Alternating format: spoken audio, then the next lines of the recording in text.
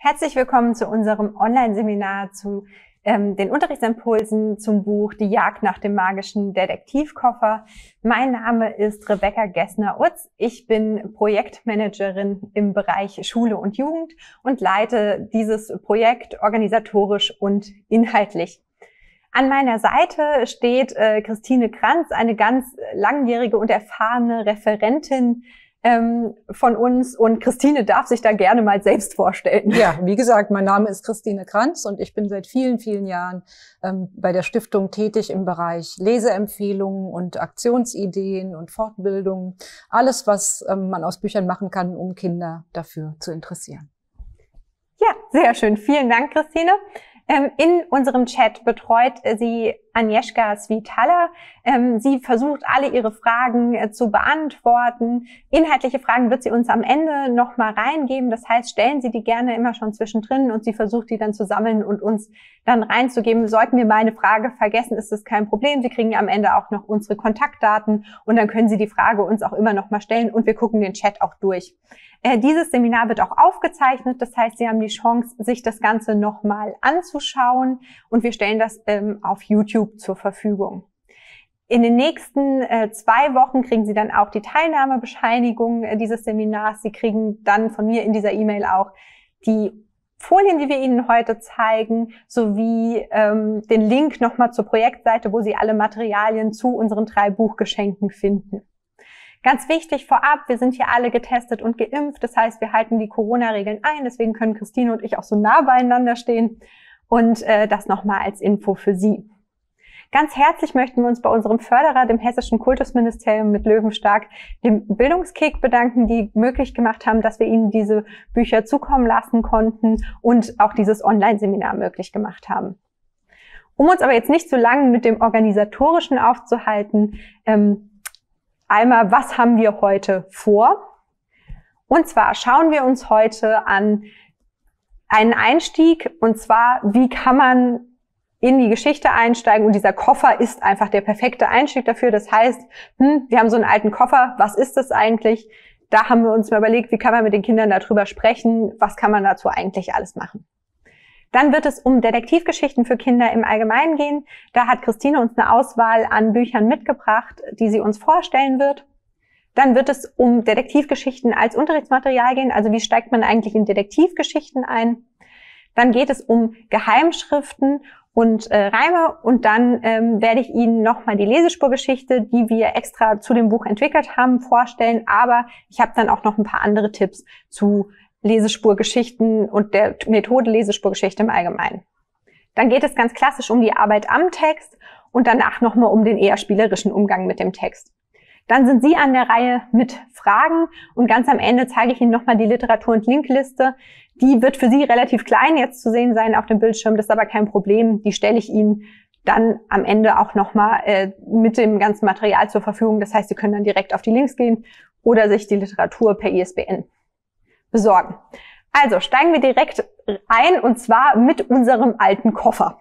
Ja, Alte Koffer sind was Tolles. Also wenn Sie irgendwo auf dem Dachboden oder bei der Oma oder einer alten Tante noch einen, wirklich so einen alten Koffer auftreiben können. Also meine Mutter hat noch einen, auch mit Hotelaufklebern. Sowas ist natürlich toll. Das gibt's ja kaum noch. Mhm. Aber es gibt ja auch ähm, relativ günstig zu kaufende äh, Pappkoffer, die auch ähnlich gestaltet sind, so ein bisschen im Vintage-Look. Also wenn Sie was zum Anfassen haben, fände ich das zum Beispiel auch schön. Mhm. Aber es reicht natürlich auch, wenn Sie das äh, Bild oder das Cover mit dem Koffer ganz groß zum Beispiel auf dem Smartboard zeigen oder das Buch zeigen den Kindern mit äh, einer Dokumentenkamera. Also einfach, dass die Kinder sich den Koffer genau betrachten können. Mhm. Und dann geht es drum, was könnte drin sein. Und da sind ja jetzt eigentlich der Fantasie überhaupt keine Grenzen gesetzt. Äh, es sollte ja schon auf die Geschichte hinführen, also werden eigentlich automatisch auch schon Geschichten entwickelt. Mhm. Weil wenn die Kinder sich bestimmte Gegenstände vorstellen, die in der Kiste drin sein können, dann geht es ja auch immer drum, was könnte mit diesen Gegenständen passieren, in welcher Geschichte könnten diese Gegenstände vorkommen. Das heißt, es hebt auf die narrative Kompetenz der Kinder ab, mhm. ist also eine Fördermaßnahme für die Erzählfähigkeit der Kinder und für die Fantasie und Kreativität natürlich auch. Ja, super. Und im Prinzip hat man ja dann, wenn man sozusagen einmal auch das, das mündliche Erzählen hat, hat man ja direkt auch die Schreibanlässe, die sich mit diesem Koffer äh, verbinden. Das heißt, auch da direkt ein Schreibauftrag, der daran folgen kann an den Koffer. Ja, und dann ist man ja bestens gewappnet, um mit den Ideen der Kinder dann auch in die Geschichte einzusteigen. Ne? Eine kleine Hilfestellung vielleicht noch. Im Endeffekt sind es, glaube ich, drei Gegenstände. Mhm. Drei Gegenstände, die in dem mhm. Koffer tatsächlich drin sind. Wenn man also die Zahl von Anfang an eingrenzt und sagt, es gibt ja. drei Gegenstände, die in diesem Koffer drin sein könnten, das macht es den Kindern ein bisschen leichter und aus drei Gegenständen lässt sich auch relativ einfach eine schlichte Geschichte stricken. Ja, das macht es natürlich äh, viel einfacher, weil sonst könnte einem ja alles einfallen. Es ufert einem dann auch etwas aus. Ja, das heißt eher als Schutzmaßnahme für Sie genau. als als Schutzmaßnahme für die Kinder. Ja, und da wir hier eine Detektivgeschichte haben, hängt damit natürlich zusammen, dass das Genre meistens Kindern ja auch schon bekannt ist. Und deswegen möchten wir Ihnen gerne noch mal weitere Detektivgeschichten vorstellen. Und äh, du hast uns da echt ein paar schöne ausgewählt, auch mit verschiedenen Schwerpunkten. Das finde ich ganz toll. Ja, mit ganz unterschiedlichen Schwerpunkten. Ähm, wir haben natürlich auch ganz klassische Detektivgeschichten. Nicht, dass jemand denkt, ich hätte Emil und die Detektive vergessen. Ähm, das ist natürlich äh, eine der absoluten Basisgeschichten überhaupt, auf der viele andere Geschichten aufbauen. Aber ich habe versucht, ein paar neue Reihen oder Spin-offs bekannter Reihen mhm. jetzt hier einzubauen. Da haben wir einmal aus dem Überreuter Verlag die Lasse Maya-Reihe, Detektivbüro Lasse Maya. Das ist sehr schön, weil man hat junge Mädchen als mhm. Helden. Mhm. Das ist allerdings auch meistens so. Es ist eine schon sehr etablierte Reihe. Es gibt schon sehr viele Bände. Das heißt, man kann das sehr gut verbinden dann mit einem anschließenden Besuch in der Stadtbibliothek. Mal mhm. gucken, wie viele Bände gibt's davon es ist lustig und spannend und in Skandinavien einer der absoluten Kinderbuchklassiker. Dann haben wir nebendran die drei Fragezeichen Kids. Ähm, wir haben uns in einem der vorangegangenen Webinare ja schon ausführlich ähm, dazu ausgelassen, mhm. wie wichtig diese etwas downgegradeten ähm, Reihenableger sind von bekannten Reihen. Jetzt hier die drei Fragezeichen. Die Kids-Reihe ist einfacher und bunter mhm. und spricht damit Kinder mit einer geringeren Lesekompetenz an, wird aber inzwischen auch von der eigentlichen Altersgruppe fast mehr gelesen als die mhm. Originalreihe, weil die doch sehr textlastig ist für viele Kinder, die nicht so gerne und so viel lesen. Ähnliches gilt für TKKG Junior, auch das ein Spin-off der Klassikerreihe, die wahrscheinlich viele von Ihnen schon gelesen haben als Kinder und die es jetzt ein bisschen aufgepeppt und ein bisschen vereinfacht eben für eine breitere Zielgruppe gibt. Also soweit so bekannt. Ähm, die unteren drei kennen Sie vielleicht noch nicht. Also einmal Penny Pepper. Äh, da haben wir die Besonderheit erstens mal eine weibliche Heldin. Das ist ja auch mal schön. Ähm, mit einem auch diversen Cast, wie man mhm. auf dem äh, Cover sieht. Und es ist ein Comicroman. Und ich finde, äh, das Genre des Comicromans ist ja im Moment schwer am Trenden. Das gibt's ja schon seit einigen Jahren, aber es ist ja. im Moment wirklich total in. Und äh, da haben wir jetzt normalerweise ja ein bisschen jungslastig von der Ausrichtung, lesen natürlich auch viele Mädchen Greg, ne? ja. aber jetzt eben mit der weiblichen Heldin auch nochmal eine Ergänzung und eben äh, um das Genre Detektivgeschichte erweitert. Und dann haben wir nebendran äh, die Redaktion Wadenbeißer. Das ist ganz toll, weil das sehr gut passt zu diesem Buch. Es mhm. geht nämlich bei den Aufgaben, die die Kinder selber lösen müssen, um Rätselbilder. Das heißt, es versteckt sich die Lösung eines Falls in ganz vielen äh, Rätselbildern und zwar auf jeder Doppelseite. Das heißt, da haben Sie also diese Rätselbilder in Hülle und Fülle, die Sie hier vereinzelt haben. Also ein sehr schöner Ansatz, sehr visuell ähm, und auch wieder ein diverser Cast, was ich mhm. gut finde. Und dann ganz neu, jetzt auch ähm, der Aspekt Reihenstart, äh, findest du die Spur ganz neu bei Löwe. Und da hat man auch äh, Rätselbilder und hat verschiedene Themen. Es gibt, glaube ich, schon drei Bände. Das heißt, wir haben auch hier das Konzept dieses Buches in diesem Buch wiedergespiegelt auf eine moderne und frische Art. Und Sie könnten ganz neu in eine aktuelle Reihe einsteigen. Ja, besonders die drei äh, unteren gefallen mir sehr gut, weil das natürlich nochmal so was ganz äh, Neues und sehr Modernes ja. ist. Bei Comics äh, immer nochmal der Hinweis, äh, für leseschwächere Kinder manchmal ein bisschen schwierig, ähm, weil die Texte anders gesetzt sind. Man muss mal gucken, wo welche Sprechblase gehört wozu, wo gehört mein Text ähm, hin, zu welchem Bild. Äh, das ist aber auch kein Problem, wenn man das einfach einmal mit Kindern besprochen hat und vorher mit denen eingeflogen hat, dann ist es auch kein Problem, das mit denen zu behandeln. Und es ist wirklich für die Lesemotivation super, weil das ist sehr nah an dem, was die Kinder gerne lesen. Also wir haben ja auch noch mal für die Mädchen Lotta leben, ähm, was ja auch so eine Art Comic-Roman ist. Also ähm, ganz toll. Also ich finde die gerade die unteren drei Ideen noch mal um was Modernes und was Neues drin zu haben, ganz toll. Schön. Ja, und dann äh, geht es natürlich aber auch darum, wenn wir dann so eine Detektivgeschichte haben, dann nochmal genauer drauf zu schauen, wie können wir denn eigentlich das Genre Detektivgeschichte mit den Kindern einbinden in den Unterricht. Da gibt es ja ganz viele Möglichkeiten. Also es gibt Möglichkeiten vorab, mhm. also praktisch mit einem Vorgespräch, mit einem kleinen Brainstorming auf die Schwarmintelligenz setzen. Ne? Wie stellst du dir einen, einen Detektiv, eine Detektivin vor? Hättest du da jetzt spontan was im Kopf, wenn du jetzt zum Beispiel einen zeichnen müsstest? Wenn ich einen zeichnen müsste? Mhm. Also äh, bei mir ist, würde der wahrscheinlich ganz äh, klischeehaft nach so einer Art Sherlock Holmes aussehen. Komisch bei mir auch. Wir haben uns jetzt nicht abgesprochen. Wird bei mir auch ja. so aussehen mit einer Mütze, ähm, also so, so eine Schiebermütze. Karo käme auf jeden Fall Genau, vor. so ein Trenchcoat. Genau. Ja. Ne? Also das ist bei uns noch sehr stark in den Köpfen. Es könnte aber zum Beispiel bei den Kindern sein, dass die Figuren aus den Lieblingsmedien mhm. zum Beispiel haben, die ganz anders äh, aussehen könnten. Das könnten zum Beispiel auch tierische Detektive sein, die ja auch sehr mhm. beliebt sind. Also wie stellst du dir einen Detektiv vor? Was muss der für Utensilien haben? Wie sieht der aus? Zum Beispiel auch ähm, ist es für dich eher ein Mann? Ist es eher eine weibliche Figur? Ne? Es ist sehr interessant, was da bei den Kindern bei rauskommt. Welche Detektivgeschichten kennst du da bitte immer? Und das wirklich, das ist mir sehr wichtig, alle Medien zulassen. Ja. Also nicht nur Bücher, sondern eben auch gucken, was gucken die Kinder für Serien, welche Filme haben sie gesehen, in denen dieses Genre eine Rolle spielt. Ja. Ähm, und da auch mal ein bisschen was erzählen lassen, weil alles, wo die Kinder mit ihren Ressourcen gefragt sind, erzähl doch mal, was kenne ich gar nicht, ne? um was geht's denn da? Das motiviert und das ermuntert die Kinder dann nachher auch bisschen besser aufzupassen. Und gerade im Bereich Gaming kommt das ja dann sehr durchaus äh, sehr zum Tragen, dass die Kinder selber in eine Detektivrolle schlüpfen. Ähm, bei so Adventuren müssen sie ja auch ähm, Rätsel lösen. Das heißt, nehmen Sie das gerne und bitte auf, weil das ist was, was wirklich aus der Lebenswelt der Kinder kommt, auch wenn uns das Erwachsenen vielleicht manchmal ein bisschen fern ist. Aber ähm, auch ich bin schon mit Computerspielen groß geworden und das ist einfach was, wo sie das kennen, das Genre. Und das knüpft dann eher daran an und die Kinder haben eher Lust dazu, das auch zu machen. Ich bin zum Beispiel nicht mit Computerspielen groß geworden, habe mich dann aber tatsächlich äh, von der Begeisterung der Kinder für mhm. Minecraft anstecken lassen, habe mich damit beschäftigt. Ja. Und es ist für mich immer ein Riesenplus, wenn die Kinder glauben einfach gar nicht, dass ich darüber darüber was weiß. Ja. Das heißt, ich überrasche die Kinder, auch wenn ich diese Ansätze auch einbinde, aktiv einbinde und sage, eure Lieblingsmedien, was äh, überschneidet sich da eventuell mit dem, was im Unterricht vorkommt. Und gerade das aktive Einbinden bietet uns ja auch erst die Chance, mit den Kindern Dinge zu thematisieren, die vielleicht auch problematisch an gewissen Dingen sein Richtig, können. Ja. Ne? aber einfach offen rangehen. Ja. Äh, welche Filme oder Serien mit Detektivgeschichten kennst du, knüpft daran an. Das geht jetzt explizit auf die neuen Medien, mhm. ne? dass man also fragt, äh, guckt ihr zum Beispiel, gibt es Sherlock Holmes, gibt es ähm, Figuren Figuren auf Kika, mhm. gibt es äh, äh, Filme, ähm, jetzt zum Beispiel auch die Sherlock Holmes-Verfilmung, viele ja. Kinder haben die ja schon gesehen. Ne?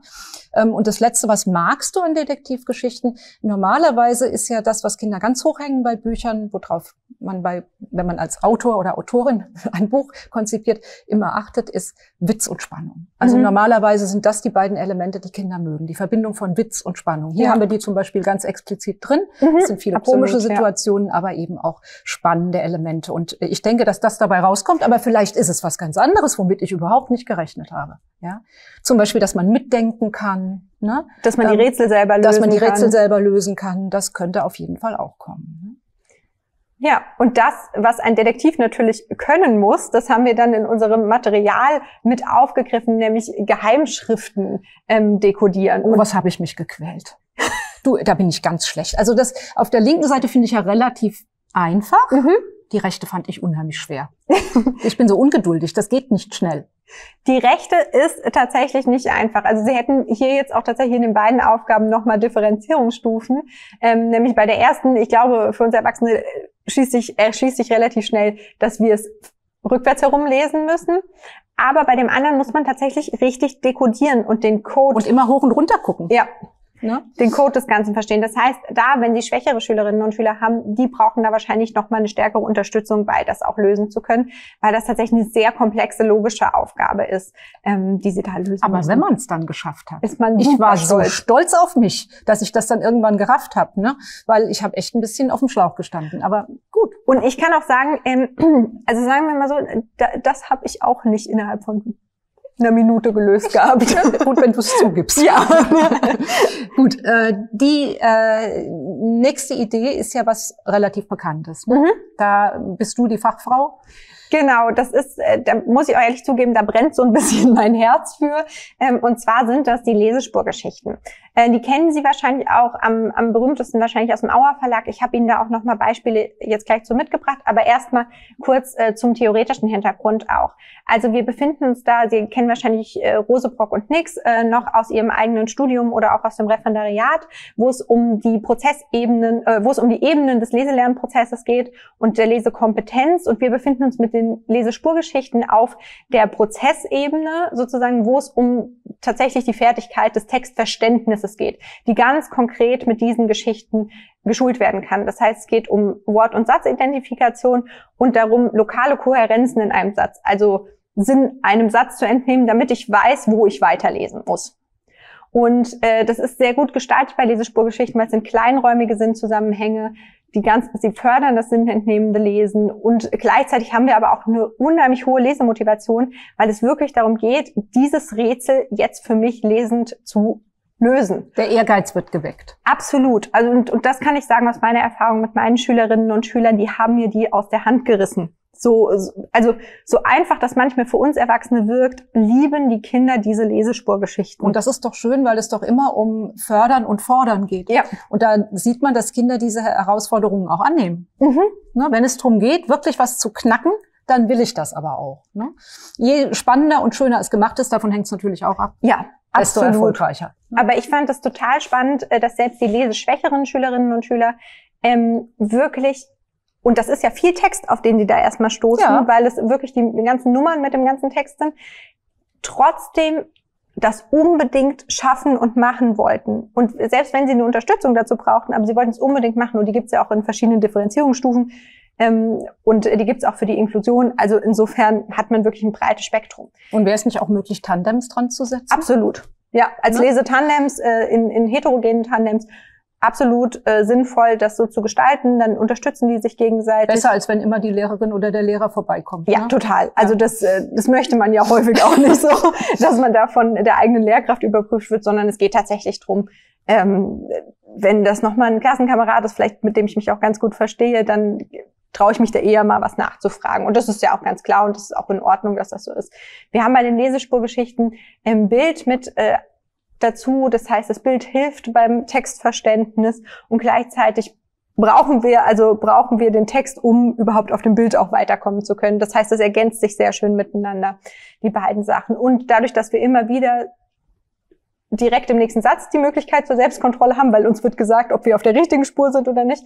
Und direkt am Ende nochmal mit dem Lösungswort sind wir eigentlich, können, können die Kinder da auch sehr frei arbeiten, ohne dass sie uns als Lehrkräfte ständig ähm, brauchen. Und ich kann da noch nur mal noch noch einmal die Betonung ähm, auf das Bild legen, weil die wir wachsen in, die Kinder wachsen heute in einer sehr visuell dominierten mhm. äh, Kultur auf mit Medien, die sehr stark visuell orientiert sind und denen dann praktisch mit dem Schulstart die Bilder wegzunehmen ist ganz und gar nicht sinnvoll mhm. ähm, und lange Fließtexte quälen ähm, Kinder in der vierten Klasse noch sehr ähm, ja. und auch in der dritten Klasse noch sehr, ähm, auch oft noch in der weiterführenden Schule und man hat wirklich jetzt auch auf dem Buchmarkt die Tendenz, dass sogar in den Büchern für die weiterführenden Schule inzwischen ähm, verstärkt Illustrationen, ja. interaktive Elemente und sowas drin sind, weil es einfach in unsere Zeit gehört. Und äh, man muss da ja auch einfach schulisch bei den Kompetenzen der Kinder ansetzen. Absolut. Und nicht irgendwo oben drüber, weil wir das gerne so hätten. Also so das, das. da muss man einfach auf Realitäten auch reagieren. Ich würde Ihnen gerne einmal unsere Lesespurgeschichte zum Buch direkt zeigen, ähm, bevor wir dann weitergehen. Und zwar zeige ich Ihnen die gerne mal über die Overhead, weil das natürlich ähm, mehrere Arbeitsblätter sind. Genau, wir haben hier einmal das Bild mit äh, unserer kleinen Karte, die wir für die Lösung brauchen. Das heißt, wir haben den Flughafen vor uns äh, liegen. Super, vielen Dank. Ähm, Genau, wo die Kinder bei Nummer eins natürlich anfangen und natürlich wäre das Ganze nicht zu lösen, wenn wir nicht auch noch den Text, ich lege Ihnen den jetzt mal hier so hin, dazu haben. Wir fangen bei Nummer eins an zu lesen, schauen dann, was sagt uns das? Papa Stiefel parkt das Auto auf dem Parkplatz. Gut, dann sind wir auf dem Parkplatz hier. Das Paket liegt am Schalter Nummer 17. Um dorthin zu kommen, musst du erst am Parkhaus vorbei. Welche Nummer hat es? Lies dort weiter. Und jetzt müssen wir erstmal gucken, hm, wo ist denn eigentlich das Parkhaus, wo wir hin müssen?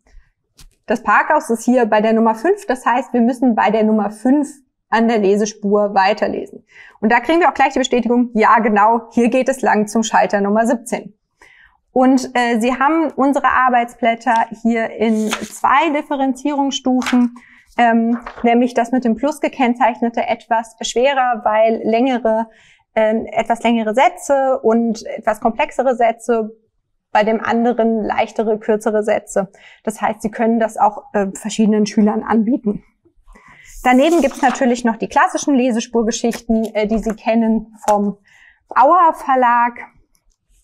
Ähm, die kennen Sie, ich habe Ihnen jetzt mal die mit den Krimis rausgesucht. Da hätte ich als ein Beispiel hier eine sehr schöne Lesespurgeschichte. Da sehen Sie schon, Sie haben größere Bilder, nochmal größere Karten, wo es um die Geheimsache Langfinger geht. Das heißt, es würde sich auch schön zu unserem äh, Thema jetzt anschließen. Da haben Sie sie auch immer in zwei Differenzierungsstufen. Natürlich sind hier die Texte wesentlich länger. Äh, das heißt, Sie haben hier, sehen Sie einmal gekennzeichnet mit dem Stern die etwas einfachere und der ähm, gefüllte Stern sind dann die schwereren. Das merkt man auch gleich. Das ist äh, mehr Text. Der Text ist kleiner. Die Textgröße spielt ja auch immer eine wichtige Rolle bei Differenzierung. Ähm, und äh, man hat hier mehr Text und komplexeren Text. Aber dann hat man einen richtigen Fundus, ne? Mhm. Das ist doch schön. Das sind ganz viele Lesespurgeschichten, genau. Und was ich noch ganz toll fand und was jetzt relativ neu vom Auer Verlag ist, sind die Hörspurgeschichten. Das äh, fand ich dann auch noch mal eine sehr schöne äh, Sache. Und zwar haben sie die hier einmal als Material für die Schule. Da haben sie einen Ablauf mit drinne, einen exemplarischen Stundenablauf. Sie haben Ideen drinne, wie die Kinder, wie sie die Kinder vorher fokussieren können. Und die Hörspurgeschichten sind auch ganz toll, weil die fangen jedes Mal so an, dass ähm, wir hier zum Beispiel bei der Escape Room Geschichte passt ja auch super zu unserem Thema, äh, dass man sich erstmal überlegt, hm, Escape Room, was um was könnte es denn da gehen? Und dann tatsächlich nur ein Fenster sich anschaut aus dieser ganzen Geschichte und danach erst sozusagen, nachdem man das vorbereitet hat, ins Hören geht. Und so nochmal das Hörverständnis, was wir ja unheimlich selten, was wir ja. schulen müssten, aber unheimlich selten schulen äh, damit nochmal schulen. Ja, und, und man muss noch dazu sagen, es gibt ja ganz unterschiedliche Lerntypen. Mhm. Also sehr viele sind halt ähm, visuelle Typen. Also mhm. ganz, ich würde mal sagen, die Mehrzahl der Kinder, die ich kenne, sind eher visuelle Typen. Die mhm. nehmen zum Beispiel viel über Bilder auf. Es gibt aber auch auditive Typen, die stark über das Hören aufnehmen. Und schulen sollte das jeder. Ähm, zum Beispiel gibt es ja Kinder, die hören unglaublich gerne Hörbücher und es gibt welche, die können nicht einfach nur da sitzen und zuhören. Die müssen mhm. permanent dazu noch irgendwas machen. Ne? Also das sind alles Dinge, die man trainieren kann mit dem Angebot unterschiedlicher Spurgeschichten. Ne? Und ich finde diese Ergänzung ganz toll. Ja. Also von uns nochmal ein großes Plädoyer auch für die Hör- und Lesespurgeschichten. Aber wir haben natürlich noch andere Dinge zur Arbeit am Text vorbereitet. Und zwar nämlich das unter die Lupe nehmen. Ja, eine meiner Lieblingsideen. Also wenn Sie eine schöne Lupe haben, also die Kinder mögen diese hier sehr gerne, weil die, so, die sieht wirklich aus, als hätte sie Sherlock Holmes äh, mhm. schon in der Hand gehabt. Ne? Ähm, also äh, den Text unter die Lupe nehmen, äh, etwas entziffern mit der Lupe, regt Kinder dazu an, wirklich mal zu lesen, weil es schon was Detektivisches an ja. sich ist. Da ist der Vorgang des Lesens etwas Detektivisches und eine simple Lupe genügt. Sollte also in der Klassenausstattung immer vorhanden sein. Ne? Ja, und wenn die dann noch so wunderbar aussieht ja. wie deine, ist ja. das ja. ja, ich weiß. Die ein ist wirklich absolutes schön. Highlight. Die spannendste Stelle, ähm, das ist ja ein Konzept, da gibt es ja auch viele Wettbewerbe, ne, der mhm. tollste Buchanfang. Ähm, ich finde aber die spannendste Stelle, wenn man, das ist natürlich in der Nachbereitung, mhm. ne, was, welche Stelle fandest du am spannendsten und warum? Ähm, man sollte übrigens auch, wenn man die Geschichte vorliest oder von den Kindern lesen lässt, da auch darauf achten, dass man das immer zur Wirkung kommen lässt. Ja. Eine spannende Stelle, Pause. Was könnte jetzt passieren? Ähm, wenn man das einfach überliest, dann wird die Stelle nicht spannend. Also auch, das hat auch auf die Vorlesetechnik Auswirkungen und es gibt eben Stellen, die wollen zelebriert werden. Und das sind dann eben oft die besonders spannenden. Und gerade da kann man ja auch super Intonation ah, üben. Toll. Ja. Ja, dann haben wir die Bilder. Bilder lesen lassen, auch eine Möglichkeit, äh, dass die Kinder ähm, erstmal das Buch durchblättern mhm. und ohne zu lesen sich einen Eindruck verschaffen, worum könnte es in dieser Geschichte gehen. Also praktisch nur eine Orientierung, mhm. ähm, schon einen Sinn entnehmen, aber eben nicht über den Text, sondern ausschließlich über die Bilder. Ist auch was, was Kinder zum Beispiel, die überhaupt kein Deutsch können oder null Lesefähigkeiten haben, ähm, schon machen können. Mhm. Ne? Eine ja, es muss ja auch was Spielerisches dabei sein. Ja. Einen weiteren magischen Gegenstand erfinden. Es gibt drei magische Gegenstände im Buch. Ähm, was könnten die äh, Helden noch gebrauchen? Auch etwas, was man nach der äh, Erarbeitung der Geschichte macht. Was hättest du dir noch gewünscht? Da, durch Harry Potter sind die Kinder so geschult in magischen Gegenständen. Denen fällt auf jeden Fall was ein, ne? was man da noch hätte, gut hätte gebrauchen können, um sich aus diversen Situationen, spannenden Situationen, ähm, herauszulavrieren. Und denen fallen wahrscheinlich extrem viel mehr Gegenstände als ein uns. als uns. Mit Sicherheit. Ja. Ja, und dann kommen wir ja schon zu den ganz äh, spielerischen Ideen, äh, die ja auch immer toll sind, nicht nur um Sachen zu deuten, sondern auch nochmal, um sich so richtig in den Text hineinzufühlen, finde ich. Und die erste Idee ist das Verkleiden. Ja, also es geht ja äh, einerseits um das Lernen. Es geht aber, ähm, du warst jetzt auf der auf der Prozessebene des mhm. Lesens, aber ganz wichtig ist ja auch die motivatorische ja. Ebene, die Kinder, die Lesemotivation der Kinder zu fördern, die Motivation der Kinder, sich mit dem Inhalt einer Geschichte zu beschäftigen. Und das funktioniert sehr gut über das Anknüpfen an Vorlieben mhm. der Kinder. Und zu den Vorlieben der Kinder gehört schon immer Verkleiden. Und ja. Verkleiden spielt jetzt in dieser Geschichte eine unglaublich große Rolle, weil die beiden Bösen, in dem Buch, es gibt natürlich Böse, wie ja. in jeder guten äh, Detektivgeschichte, die treten jedes Mal in einer neuen, kreativen Verkleidung auf. Und ähm, wir hatten früher als Kinder eine Verkleidungskiste. Hattet ihr sowas auch? Ja, natürlich. Ne? Also auf, es gab so eine Kiste mit so abgelegten Kleidern. Die kam dann zum Beispiel auch bei Kindergeburtstagen zum Einsatz und dann durfte man sich verkleiden und bestimmte Figuren darstellen. Und das ist zum Beispiel auch was, ähm, was man sehr gut bei einem Schulfest machen ja. kann. Im Zusammenhang mit Fastnacht oder Karneval ist jetzt halt gerade durch, aber Sommerfest würde ja eventuell dieses Jahr mal stattfinden können. Da könnte man so eine Verkleidungsstation machen. Die Kinder stellen Figuren aus Büchern dar. Ne? Ja, und hier also Verkleiden spielt in diesem Buch eine große Rolle und sollte unbedingt spielerisch aufgegriffen werden. Ja, und da sind wir ja genau auf der Subjektebene, also äh, Dinge auch nachzufühlen und das mit seiner eigenen alltäglichen Welt zu verbinden. Und Verkleiden ist für Kinder einfach eine tolle Sache. Ja, in Rollen schlüpfen. Ja, es hat ja super. auch eindeutig was mit der literarischen ähm, äh, Erziehung zu tun. Mhm. Das heißt, die Kinder äh, sind jemand anders. Ja. Und das ist ja was, was ein Buch schafft, dass man in diese Rollen schlüpft und man kann es aber auch ganz handfest machen. Ja, und jetzt haben wir ein schöne, schönes nächstes Verwort. Das ja, ein Verwort und zwar verzaubern. Und da äh, kommt jetzt endlich mal ein Zylinder zum Einsatz, der äh, schon ewig bei uns rumliegt und der ähm, allen zu klein ist. Aber dafür ist er ganz wunderbar geeignet, ähm, weil in dieser Geschichte kommt tatsächlich dieses Zaubern aus dem Zylinder auch vor. Ich zeige es jetzt gerade mal in die Kamera. Da sieht man es hier oben. Ne?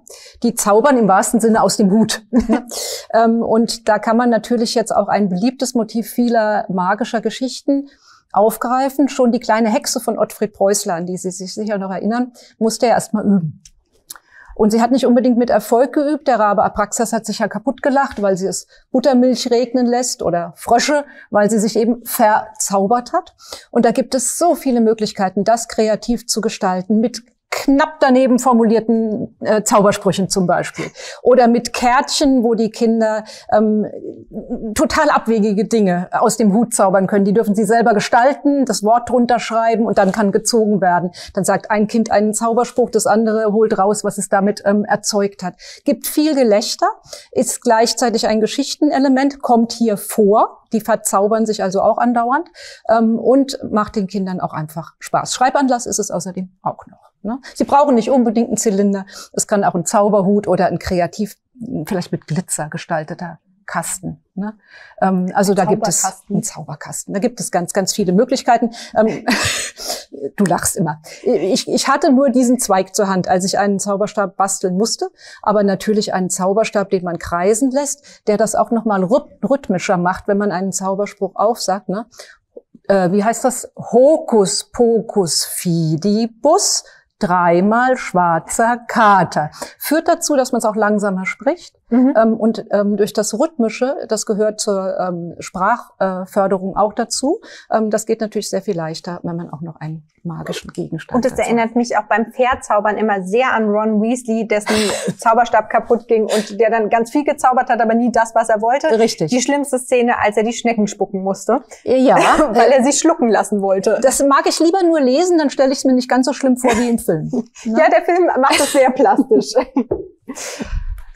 Ja, dann haben wir Briefe mit Geheimschrift in Tandems schreiben lassen. Ja, Geheimschrift kann man natürlich äh, so machen, wie wir es schon gezeigt haben. Mhm. Ähm, es gibt aber ja noch viele andere Möglichkeiten von Geheimschrift, von ähm, unsichtbarer Tinte, Zitronensaft, ähm, Backpulver, was man alles machen kann. Ne?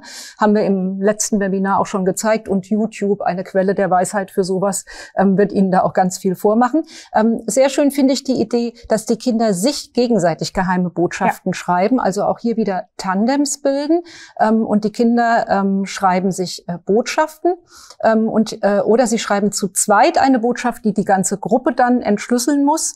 Ähm, da gibt es ganz viele Möglichkeiten. Also Geheimschriften selber herstellen ist auch etwas äh, sehr Kreatives und sehr Spannendes. Ja, Genau, und äh, da am besten bieten Sie den Kindern verschiedene Codes auch vorher an. Also wir haben ja das Arbeitsblatt, wo wir verschiedene Codes haben ähm, die man austesten kann. Aber natürlich auch da YouTube als Quelle der Weisheit, Ideen für Geheimschriften. Oder schreiben Sie es gerne auch in den Chat mal, was Sie schon für Geheimschriften kennen und ausprobiert haben. Und wenn man dann den Kindern so ein Sammelsurium anbietet, können die da auch leichter draus wählen und können und dann kennen sie zumindest schon mal einen Ansatz für einen Code, um es lösen zu können. Und das ist nicht so was völlig frei ausgedacht. Das kann man natürlich auch mal testen. Dann braucht man aber auch so eine Lösungsschablone, ähm, genau wie bei wie bei unserem Arbeitsblatt auch. Genau. Ja, dann sind das ganz wichtig für diese Geschichte die Fernglasgeschichten. Die Fernglasgeschichten. Das Fernglas ist einer der magischen Gegenstände, den die Kinder in diesem geheimnisvollen Koffer finden den sie auch gar nicht sofort als magischen Gegenstand identifizieren. Mhm. Die Kinder sind ja erstmal maßlos enttäuscht. Äh, die denken ja, huch, ähm, was hat die Tante uns da geschickt? Das ist ja voll langweilig. Und dann stellen sich diese drei Gegenstände eben als magisch heraus und es gibt ganz viele spannende Möglichkeiten, was man damit machen kann. Und die Fernglasgeschichten, ähm, Kinder lieben Ferngläser. Also wir hatten ganz viele Ferngläser, als meine Kinder noch klein waren. Ähm, und das ist was Faszinierendes. Also ähm, etwas zu vergrößern oder äh, zu verkleinern und dran äh, nah ranzuholen. Besonders faszinierend ist es allerdings, wenn es etwas ist, was es gar nicht gibt. Ne? Also du würdest jetzt zum Beispiel, ähm, die, also dieses magische Fernglas hat nämlich die Fähigkeit, sie können durch Wände gucken. Das heißt, sie können jetzt mit dem Fernglas, ich guck mal gerade da drüben, was die da machen, hinten im Büro. Mhm. Hm. Also es sieht lecker aus. Ja, ich bin ein bisschen neidisch. Also man könnte jetzt, also ich habe natürlich gar nichts gesehen, aber man könnte es natürlich erfinden. Ne? Ja. Also durch die Wand gucken, ähm, schöner Schreibanlass, schöner Erzählanlass, Förderung der narrativen Kompetenz, äh, Motivation der Kinder, ähm, die Fantasie kann da Purzelbäume schlagen. Ähm, wichtig ist wirklich ein ein schönes Fernglas. Es sollte vielleicht auch ein bisschen Geheimnis. Sowas kriegt man übrigens auch öfter mal auf dem Flohmarkt. Ja. Das darf ruhig ein bisschen vintage-mäßig aussehen. Dann ist es nämlich noch mal eine Ecke geheimnisvoller. Ne? Also, ja, und äh, ich finde auch super zum Impro-Theater auch, ne, dass man, dass toll. man sagt, du glaubst gar nicht, was ich da jetzt sehe, und dann äh, der nächste einsteigt und das Ganze mal austestet. Also wirklich äh, ganz tolle Möglichkeit, um Kinder erzählen zu lassen. Und das Lustige ist ja, ähm, bei kleinen Kindern ist es ja so, dass die in einer magischen Phase sind, die mhm. ersten mhm. Jahre. Das heißt, die glauben das ja tatsächlich noch, dass sie auch tatsächlich etwas bewirken können, was über das normale, natürliche äh, hinausgeht. Aber ein Teil von diesem magischen Denken erhält sich. Mhm. Und ähm, ich habe das schon öfter mal gemacht, dass ich das mit älteren Kindern ausprobiert habe. So ganz sicher sind die sich nicht, dass ich das nicht sehe. ne? Also ich merke, dass es ihnen ein kleines bisschen suspekt ist und die, also ganz sicher sind sie sich nicht. Ne? Und das liegt vielleicht auch daran, dass Kinder eben diese magischen Geschichten lieben und in dieser Welt von Harry Potter und all diesen anderen magischen Figuren sich oft auch sehr zu Hause fühlen. Das heißt, so ungewöhnlich ist das für die Kinder oft gar nicht. Nee, und da muss man ja ehrlich sagen, auch als Erwachsener, man lässt sich ja gerne in so eine magische Welt entführen und äh, nimmt an solchen Geschichten teil. Also insofern auch da einfach eine tolle Chance, um äh, mit Kindern äh, da nochmal zu fabulieren und zu fantasieren und, und wenn, einfach auf die Geschichte einzulassen. Wenn sie jetzt auf Magie überhaupt nicht stehen, kann man das aber auch variieren. Man ja. nimmt der, das Fernglas und sagt, guck mal durch. Also ich sehe da einen Wald. Beschreibe doch du mal, was mhm. du da siehst. Und dann soll das Kind durch das Fernglas gucken und sagen, was sieht es im Wald. Ähm, natürlich sieht es das auch nicht wirklich, aber es beschreibt praktisch das, was man in einem Wald sieht. Ne? Da im Buch ist es ja auch so, sie gucken durch die Wand und sehen das, was im Nebenraum tatsächlich passiert. Also es muss, der Vorgang an sich ist dann magisch, aber letztendlich das Thema muss nicht magisch sein. Ist nicht nötig. Nee, der arme Papa auf der Toilette genau. ist leider nicht magisch. ich wollte es jetzt nicht so deutlich machen. Ne? Aber es sind, ähm, gibt gibt ja ganz viele Möglichkeiten, wie man das ausgestaltet. Und tatsächlich kann. auch fast eine ethische Frage. Ne? Ja. Wenn, wenn ich sowas machen kann, wie weit darf ich gehen? Wie, weit, weit, darf ich gehen? Äh, darf ich es ausspionieren? Also auch da haben Sie fachübergreifend. Ja. Können Sie da arbeiten? Weil es ist natürlich schon die Frage, ob das in Ordnung ist, dass ich mit so einem Fernglas einfach durch jegliche Wände durchgucke. Und da kann. ist mir dann die magische Welt doch sehr viel lieber, ja. als wenn ich einen Spanner da habe. Ne? Ja. Ähm, und man zum Beispiel, darf ich jemanden fotografieren, der nicht fotografiert werden will oder der das nicht weiß? Ja. Ne? Äh, da halte ich mich lieber in der magischen Welt äh, auf, da bin ich sicherer. Ja, absolut. Gut. Ja, und dann natürlich, was dieses Buch äh, mit, mit großer Bravour einfach schafft, ist ähm, im Text immer schon Zahlen und Buchstabencodes zu verstecken, die man dann auch knacken muss. Ähm, am besten kennen Sie das, glaube ich, von Seite 43. Äh, Christine ist gerade ja. mal so lieb und äh, schlägt sie schlägt sie für mich auf. Und da haben sie nämlich, dass sie ähm, den Code äh, knacken müssen, äh, mit dem man diesen Koffer überhaupt öffnen kann. Und wenn sie dabei schon sind und den Code vielleicht mit den Kindern gelöst haben, ich gucke also mal so hier drauf. In den Wörtern versteckt sich der Zahlencode.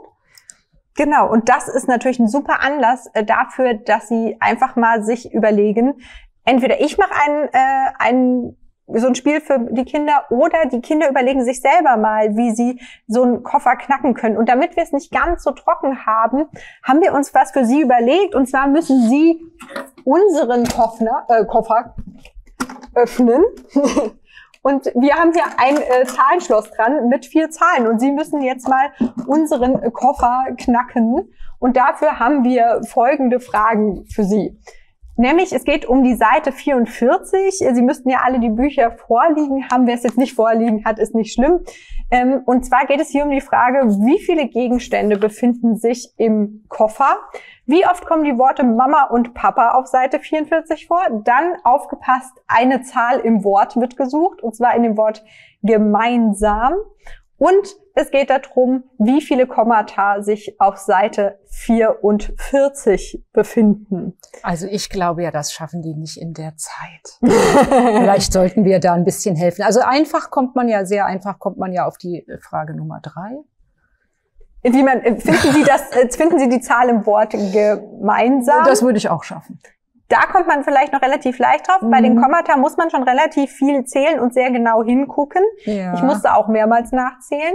Wie viele Gegenstände befinden sich im Koffer? Könnte man durch haben wir den schon Text, gesagt? Ja. Wenn Sie aufgepasst haben? Könnte man durch den äh, durch den Text, äh, ja, wobei man auf der Seite aufpassen muss. Ja weil auf der Seite kommen sind nur zwei. Oh, hm. ah, hm. aber ich habe ich, ja, dann genau, dann geben wir diesen Hinweis, sonst äh, geht's ja nicht. Genau. Ähm, auf jeden Fall nochmal zum Thema Zahlenschloss ist nach meiner Erfahrung auch was, was alle Kinder fasziniert. Ja. Ne?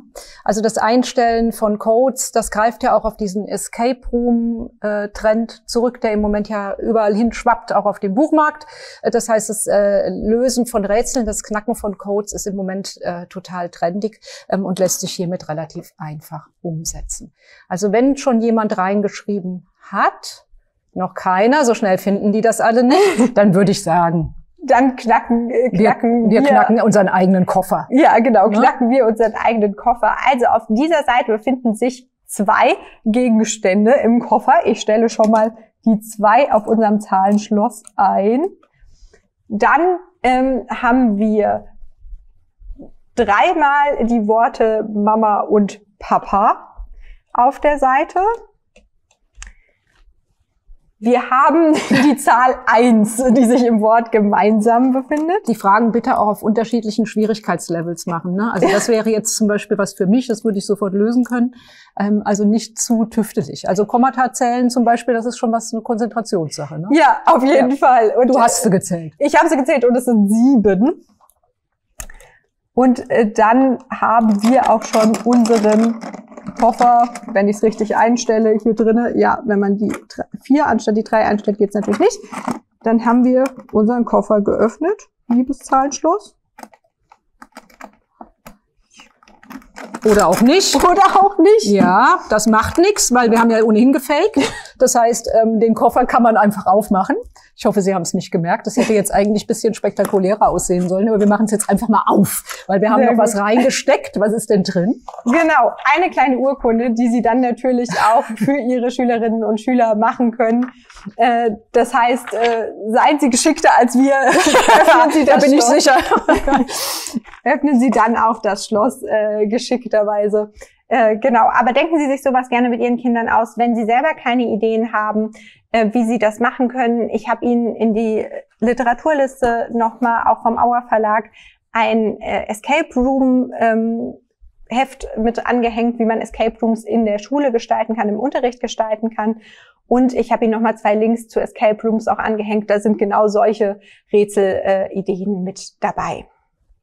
Ja, dann ja. würde ich sagen, jetzt ähm, gucke ich mal zu Aga. Sind Fragen da? Gerne. Sollten die Lesespurgeschichten sowie das Arbeitsblatt zur Geheimschrift be bearbeitet werden, bevor das Buch gelesen wird oder danach? Was würden Sie empfehlen? Äh, das können Sie tatsächlich machen, wie Sie, wie Sie das äh, möchten. Also man kann wahrscheinlich die Codes so als kleinen Teaser für das Buch verwenden, damit die Kinder richtig Lust auf das Buch haben. Bei der Lesespurgeschichte würde ich empfehlen, das tatsächlich an der Seite dann zu machen, wo die Kinder auch diese Route auf dem auf der Karte wählen müssen, um schnell zu ihrem Paket zu kommen. Also da würde ich es tatsächlich im Leseprozess verhaften. Ich glaube, die Geheimcodes kann man so als Teaser nutzen, um äh, damit in das Buch reinzufinden. Ja, und die Geheimschriften sowieso. Ja. Also das kann man vorher machen, das kann man währenddessen machen, das kann man nachher machen. Das kann man auch übrigens für jedes beliebige Buch machen. Ähm, das äh, ist vollkommen frei. Ne, die Lesespurgeschichten finde ich auch, die sind ähm, hier im Buch relativ klar zu verorten, mhm. ähm, wo man das anknüpfen kann. Genau, und dann die längeren Lesespurgeschichten bieten sich, glaube ich, dann in, in, im Anschluss an. an die Lektüre an. Genau. Ja. Mhm. Gibt es das Buch auch differenziert für Schülerinnen und Schüler, die noch nicht so gut lesen können? Ähm, leider noch nicht, aber das ist bestimmt ein toller Hinweis ja. auch nochmal an den, an den Verlag. Ähm, genau, der, die Jagd nach dem magischen Detektivkoffer ist relativ neu. Ich glaube, es gibt auch erst, äh, wenn ich mich nicht irre, einen weiteren Band, ähm, maximal zwei, aber ich glaube ich einen glaub, weiteren ja, Band. Der dritte ist aber schon geplant. Der also dritte der, ist in Planung, mh. genau. Und ähm, insofern da noch nicht, aber es ist natürlich ein toller Hinweis, den wir gerne dann auch nochmal weitergeben. Aber vielleicht nochmal hier gerade Overhead, dass wir nochmal gucken können. Es ist auch vom, von der Textmenge überschaubar für die Altersgruppe. Also ich mhm. finde es jetzt äh, nicht sehr lang. Es ist auch relativ große Schrift für diese Altersgruppe. Ähm, wir haben relativ viele Absätze und wir haben für diese Altersgruppe einen außerordentlich hohen Bildanteil. Mhm. Also glaube ich, dass das auch so funktionieren wird. Genau, aber für die Förderschule ähm, oder auch für die Inklusion ist es eine sehr gute Idee. Könnte es, könnte es sehr komplex noch sein und da ist es eine sehr gute Dass Idee. Dass man das differenziert. Genau. Ne? Das waren alle Fragen? Super. Ja, vielen lieben Dank. Ähm, ansonsten, wenn Fragen kommen, stellen Sie die uns gerne. Ähm, ich habe hier jetzt äh, gerade nochmal, das sehen Sie bestimmt gleich, unsere Kontaktdaten eingeblendet. Das heißt, melden Sie sich äh, gerne auch bei uns und Aga schreibt die auch gleich nochmal in den Chat. Gerne bei inhaltlichen Fragen an äh, Christine Kranz, äh, die mit aller ihrer Expertise die Fragen beantwortet, aber auch bei organisatorischen und inhaltlichen Fragen gerne an mich ähm, per E-Mail oder auch gern äh, per Telefonat. Ähm, auch nochmal als kleine Wiederholung, Teilnahmeliste, Literatur- und Linkliste, Materialzugang, äh, den Sie jetzt auch schon auf der Projektseite finden, aber nochmal den Link zur Projektseite, sowie die komplette Präsentation kriegen Sie nochmal von mir zugeschickt in den kommenden zwei Wochen. Und auch in der Zeit wird dieses Seminar und auch das äh, andere zu Tafiti ähm, online gestellt auf unserem YouTube-Kanal und wir verlinken das auch nochmal auf der Projektseite. Dort finden Sie auch schon das für Klasse 1, was im Dezember schon stattgefunden hat. Ja, dann einmal noch den kurzen Hinweis auf die Literaturliste und die Links. Da erkennen Sie jetzt nicht super viel drauf, aber Sie kriegen die Liste ja wie gesagt nochmal zugeschickt. Da sind alle ähm, Literaturhinweise drauf, die Christina am Anfang vorgestellt hat. Da sind die differenzierten Lesespurgeschichten, Krimis und die Hörspurgeschichten mit der ISBN zusammen drinne. Ich habe Ihnen nochmal das Material zu Escape Rooms in der Grundschule dritte, vierte Klasse mit eingebunden, auch vom Auer Verlag. Dann zwei Links zu Escape Rooms ähm, und dann nochmal ähm, Seitenempfehlungen von äh, der Stiftung Lesen, also Leseempfehlungen, äh, wo Sie Buchtipps äh, finden und auch Aktionsideen und ähm, dann nochmal die Seite lesen mit Punkt App ähm, zu Bewertungen von Apps zur Leseförderung. Und dahinter sind nochmal drei Seiten, die Sie gerne an Eltern äh, geben können, bei denen Kinder mit einer anderen Erstsprache aufwachsen. Das sind ähm, Geschichten in zwei Sprachen ähm, meistens und da sind verschiedene Sprachen drunter um nochmal so die Mehrsprachigkeit und die Kompetenz der Kinder wertzuschätzen. Und auch die Literarisierung in der Erstsprache hilft sehr der Literarisierung in der Zweitsprache. Insofern ähm, da nochmal als Tipp äh, für die Eltern auch. Ja, dann bleibt uns gar nicht mehr viel zu sagen am Ende vom Seminar. Wir danken Ihnen für Ihre Aufmerksamkeit, bedanken uns nochmal ganz herzlich beim Hessischen Kultusministerium und äh, der Initiative Löwenstark der Bildungskick, die das alles ermöglicht haben. Und äh, dann bleibt mir nur noch zu sagen, ich wünsche Ihnen ganz viel Spaß mit dem Buch und mit den Unterrichtsideen. Ähm, und äh, dann übergebe ich für ein letztes Wort an Christine. Ja, ich möchte mich auch bedanken, dass Sie so lange zugehört haben. Ich hoffe, es war ein bisschen was für Sie dabei. Und ich wünsche Ihnen beim Rätseln, beim Codeknacken und bei der detektivischen Leseförderarbeit ganz, ganz viel Spaß und Erfolg.